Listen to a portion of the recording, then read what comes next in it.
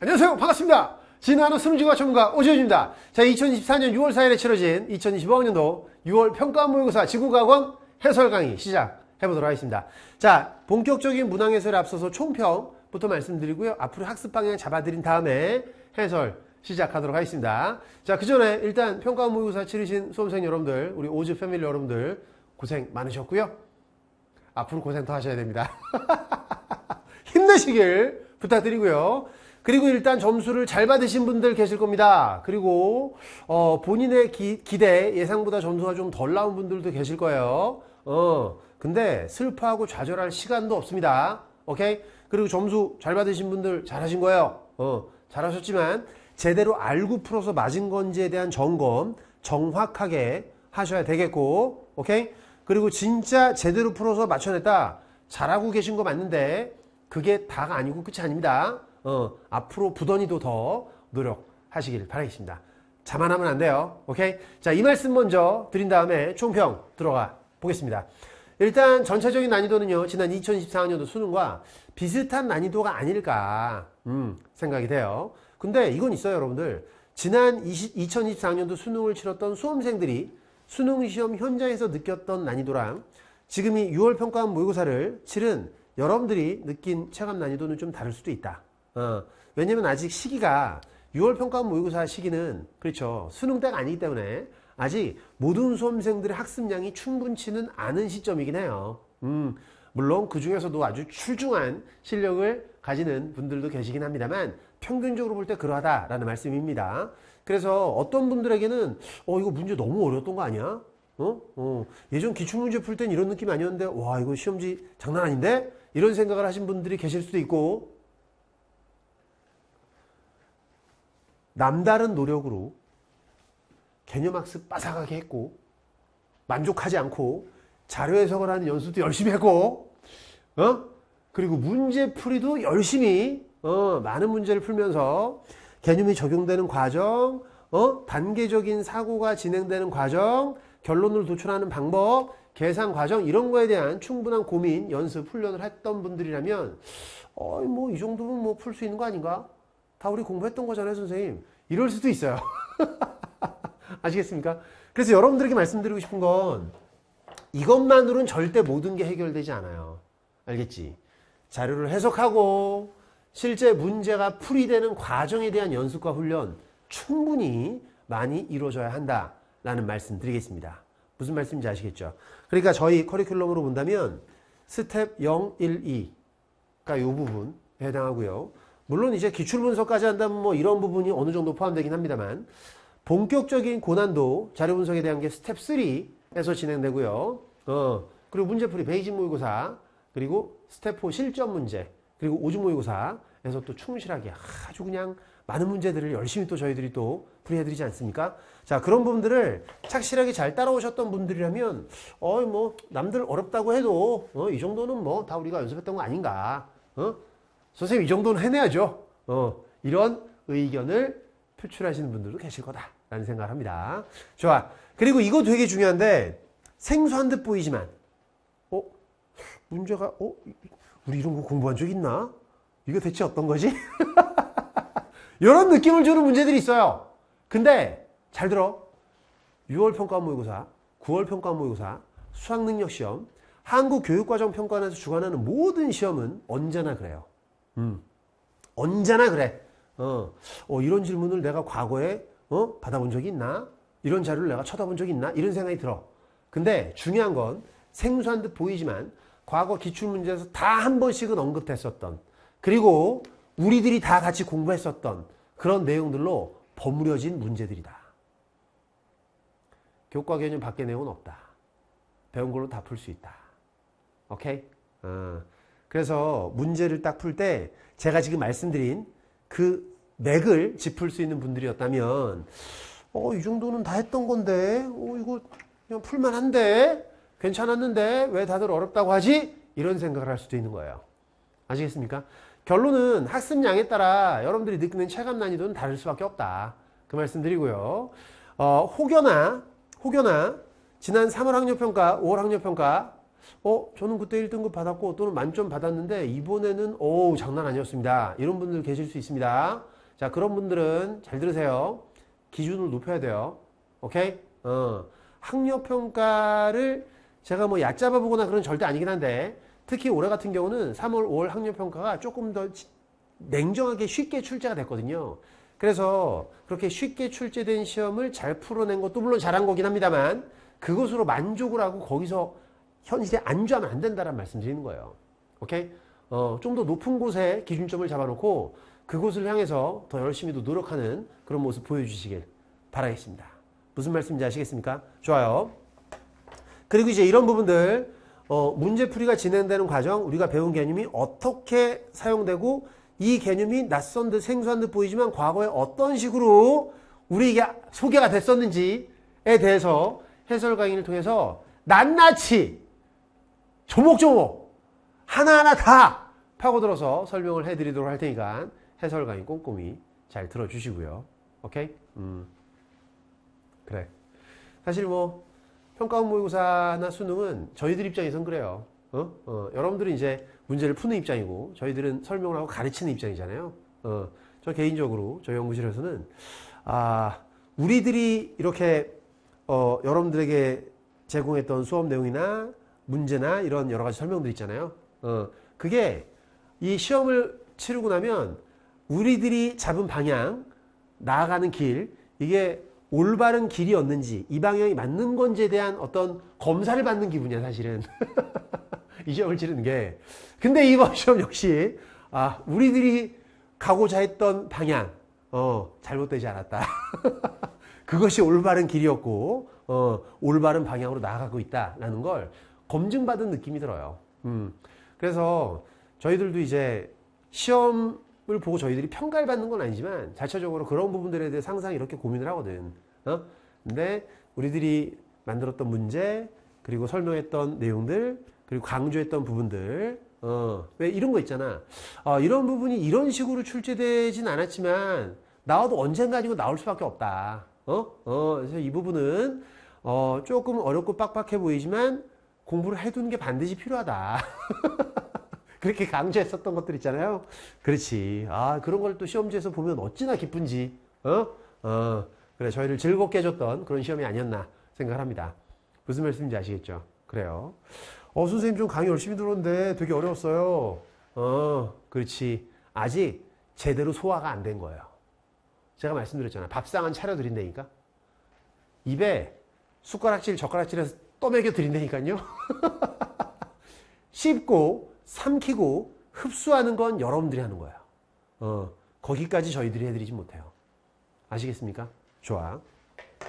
해설 강의 보시면서 어, 저희들이 강조했었던 내용들 그리고 그 개념들이 문제 속에 어떻게 녹아 들어가 있는지 과거 기출문제에서 우리가 또 배워갈 수 있는 게 어떤 것들인지 그리고 이제 지금 이 기출문제 6월 평가 모의고사를 통해서 우리가 앞으로 또 어느 정도까지 이렇게 조금 뭐라고 하지 그 발걸음을 내디뎌야 하는지 그런 부분들을 해설 강의를 통해서 잘 한번 또 공부할 수 있도록 하자고. 아시겠죠? 좋습니다. 자, 그리고 이제 이 부분도 학습 상태에 따라 시간이 부족했던 수험생들도 있었을 거예요. 어, 있었을 겁니다. 근데 일단 이 시간 부족과 관련된 건 한 말씀 드리면 시간을 단축시킬 수 있도록 문제를 빨리 풀 수 있게 하기 위한 어떤 그거에 최적화된 노력이나 거기에 걸맞는 훈련을 한다. 어, 뭐 이런 게 없진 않은데요. 사실은 이 부분은 많이 읽어보고 많이 풀어보고 비슷한 유형의 문제를 많이 풀어보는 즉 소위 양치기를 많이 하면 요거는 자연스럽게 해결돼요. 알겠지? 뭐 이걸 하기 위한 특별한 노력을 어, 물론 뭐 계산을 할 때 이제 어떤 식으로 접근을 하는 게 좀 더 빠르게 풀 수 있는 방법인지에 대한 고민은 뭐 해볼 필요가 있긴 하죠. 하지만 어, 비슷한 유형의 문제들을 많이 읽고 많이 풀어보는 것만으로 문제를 읽는 속도, 상황 판단을 하는 속도 이런 것들은 자연스럽게 길러질 수밖에 없게 돼요. 아시겠죠? 그래서 이런 것들을 잘 하시라고 저희들이 basic 모의고사 게다가 올해는 또 레벨 하나 더 추가해서 레벨 3까지 이렇게 제공해 드리고 있는 거잖아요. 그죠? 음, 그래. 그런 것들을 풀어보시고 계산해 보셨다면 그렇지. 뭐 빡빡하지만 물론 시간이 많이 할애될 수밖에 없는 고난도 문제들이 있긴 하죠. 어, 그런 문제는 충분히 시간을 쓰면서 풀어야 돼. 단, 그 외에 다른 문제들을 빨리 해결해서 조금 난이도 있는, 난이도 높은 문제를 풀 때 시간을 확보하는 게 우리에겐 또 필요한 거니까. 무슨 말씀인지 아시겠습니까? 좋습니다. 자, 일단 요 정도 말씀드리고, 어, 단원별 출제 문항 비율을 보면 뭐, 크게 뭐 이렇게, 어, 특이사항이 있지는 않습니다. 그리고 문항 번호별로 이 번호는 언제나 이 주제가 출제된다. 이런 정해진 거 없어요. 알겠지? 음. 근데 굳이 한 말씀 드리자면, 3단원, 4단원이 보통은 3단원에서 세문항, 4단원에서 네문항, 요게 조금 일반적인 어, 패턴이었는데, 이번에는 요게 좀 바뀌어 있습니다. 어, 여기 셋, 여기 셋. 어, 근데 뭐 우리들이 배운 내용이 워낙 방대하고 많죠. 그 중에서 20개가 선별돼서 나오는 거거든요. 음, 그래서 이 부분에 대해서 아주 크게 뭐 우리가 이슈를 삼을 만한 건 아니다. 라는 말씀 드리겠습니다. 그리고 일단 느낌이 조금 이제 고난도 문제들은 네 번째 페이지에 조금 몰아져 있는 그런 느낌이 든다는 점. 어, 그리고 네 번째 페이지 아무래도 계산을 해야 되는 그런 문제들이 있다 보니까 그 계산하는 과정에서 어떤 시간 단축에 대한 고민이 여러분들에게 들 수밖에 없다라는 점 음, 말씀드립니다. 하지만 다시 한번 말씀드릴게요. 그런 문제를 많이 풀어보고 연습을 하는 게, 피- 하는 게 필요하고, 어? 어. 특히나 이제 숫자 계산이나 이런 산수 이런 것들은 사실 편의를 제공해 주거든. 말도 안 되는 숫자들을 우리한테 말도 안 되는 계산을 시키진 않아요. 알겠지? 어? 족보 없이 근본 없이 숫자 막 내진 않는 거거든. 아시겠습니까? 그래서 정상적인 수순으로 연습을 잘 하셨다면 충분히 시간 내에 풀 수 있었던 시험이 아니었나 생각을 합니다. 아시겠죠? 자, 학습 방향 일단 여, 여러분들 읽어보시는데 제가 드리고 싶은 말씀은 이거예요. 점수가 잘 나왔어. 어, 어, 남들 어렵다고 하는데 나는 너무 잘 풀었는걸? 어, 이제 하산해도 되는 거 아닌가? 이런 생각 들잖아요. 어, 진짜 그러면 산 아래로 떨어집니다. 어? 어, 올라가야지 내려가면 안 되지. 그치? 절대 거만해지지 마시고요. 자만하시면 안 됩니다. 오케이? 음. 그리고 이제 이 시험 결과가 이제 산출되고 나면 그에 있어서 이제 한국교육과정 평가원도 여러 가지 분석을 하겠죠. 어, 이 정도 수준으로 문제를 냈을 때 등급 컷, 등급 구분 점수가 어떻게 설정되고 어떻게 1등급부터 9등급까지 펼쳐지는지를 면밀하게 어, 분석을 하겠죠. 그 다음에 난이도 조절을 또 할 거예요. 오케이? 음, 그래서 9월 또 한 번 또 출제가 되고 그다 반영해서 수능 난이도가 결정되는 거니까 아직은 뭔가를 섣불리 말씀드릴 수 있지는 않다. 하지만 어, 조금 빡빡하게 준비를 해두는 게 만일의 사태를 대비할 때 필요한 어떤 준비 과정이 아닌가. 어? 너무 안일하게 준비해놨다가 막상 수능 난이도가 확 어? 저 위로 꼭대기로 올라가 버리면 이땐 대처가 안 될 수밖에 없잖아요. 오케이? 어, 그런 말씀 드리고. 그리고 이제 본인은 지금껏 열심히 노력을 했다. 꽤나 많은 시간 투자를 했다. 하지만 점수가 너무 안 나와서 너무 좌절되고 속상하고 지금껏 뭐 했나라는 생각이 든다. 이런 분들 계실 수 있습니다. 잘 들으세요. 좌절할 시간도 없습니다. 오케이? 어, 어디 감히 글을, 어? 그러시면 안 되고.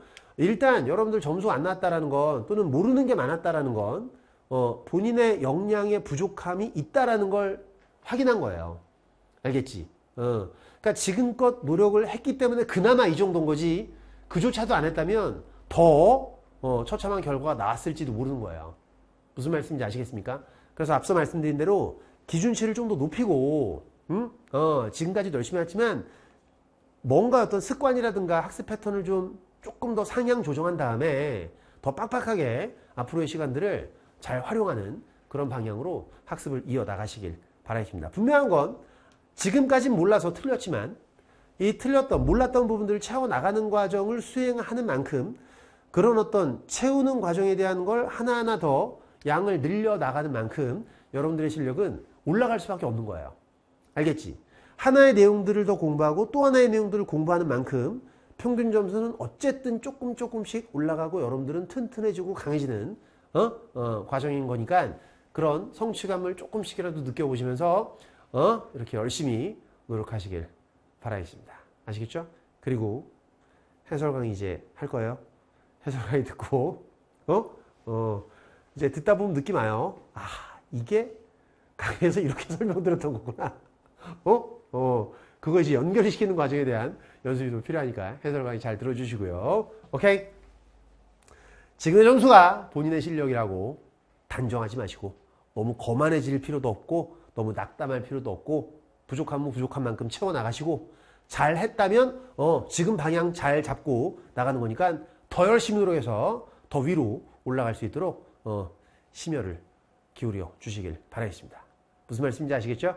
좋습니다. 자, 그럼 지금부터 본격적인 문항 해설 들어가도록 하는데 참고로 해설지 분석 자료는 며칠 내로 어, 촬영일 기준 며칠 내로 이제 학습 자료실 그리고 오지 지구과 카페의 학습 자료실에도 어, 이제 업로드가 되니까 해설지도 여러분들 다운받아서 같이 학습에 활용할 수 있도록 해주시고 해설 강의는요 잘 들으세요 두 번은 필수로 듣는 게 좋고요 어? 세 번까지 듣는 걸 권장드리는 바입니다. 단순히 문제를 외워라가 아니라 각각의 문제를 풀 때 어떤 암기요소가 필요하고 어떤 개념이 어떻게 적용되고 어떤 과정으로 풀이, 어떤 과정으로 풀이가 진행되는지 각 문제에서 우리에게 어떤 능력을 요구하는지 어떤 능력이 있는 친구들을 맞추게 하고 어떤 공부가 부족한 친구들을 틀리게 하는 목적으로 출제가 된 건지 이런 부분에 대해서 여러분들이 면밀하게 따져보는 시간이 필요하다 그 얘기예요. 아시겠습니까? 단순히 문제를 외우고 답을 외우는 게 그게 의미 있는 문제풀이 공부는 아니거든요. 아시겠습니까? 좋아. 해설 강의를 통해서 충분히 공부를 열심히 잘 해주시길 바라며 좋습니다. 서론 여기까지 하고 이제 본격적인 해설 강의로 이어가도록 하겠습니다.